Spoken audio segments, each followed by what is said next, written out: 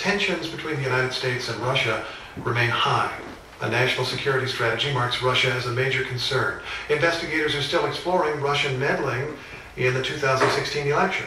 International media in Russia have been told to register as foreign agents, but an art form born in America has found a home in Russia, Russian rap.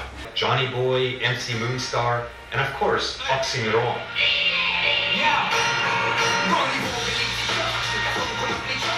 pop is Russia's rapping superstar.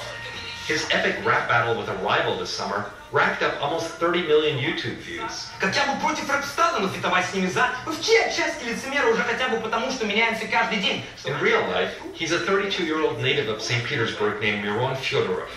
The Oxy in his stage name refers to the University of Oxford, where he studied medieval English literature.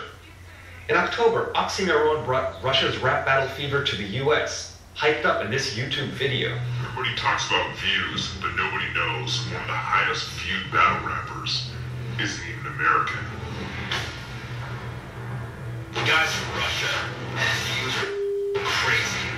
Oxxxymiron faced off against Dizaster, a Los Angeles-based battle rapper.